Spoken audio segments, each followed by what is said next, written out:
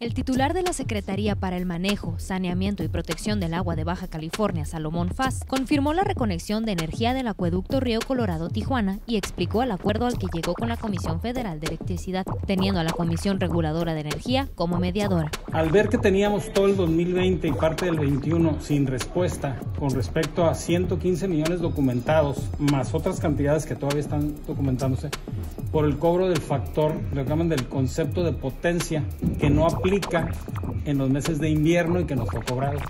Como estás recibiendo un servicio que no puedes decir, oye, no me lo des porque estás bombeando agua, no podemos dejar de bombear agua porque los consumos en la zona costa han subido mucho.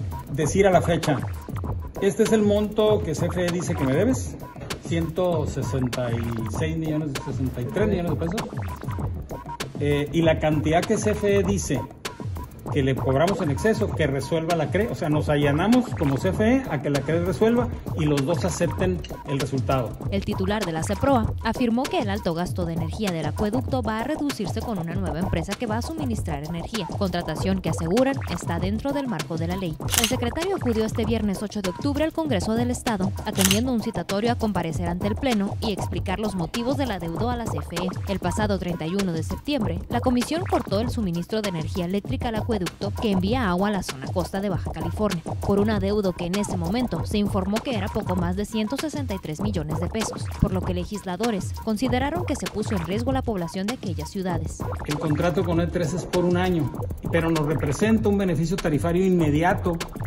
al, al cobrar, según el contrato, a 1.54.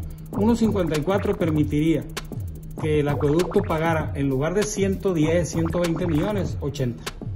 Lo anterior fue posible gracias a un convenio que se ha llegado con la CFE de pagar a plazos, por lo que se dio un adelanto de 20 millones de pesos y se comprometen a pagar 10 millones de pesos de manera semanal, iniciando el primero de estos abonos el próximo lunes 11 de octubre. Es decir, sumando los 20 millones que ya se adelantaron, más los que se aporte los tres lunes que le restan a la presente administración, se habrían abonado solo 50 millones de pesos. Ahora será la empresa E3 la encargada de hacerlo, con una mejor tarifa eléctrica y la primera factura le tocará pagarla a la próxima administración, explicó el secretario.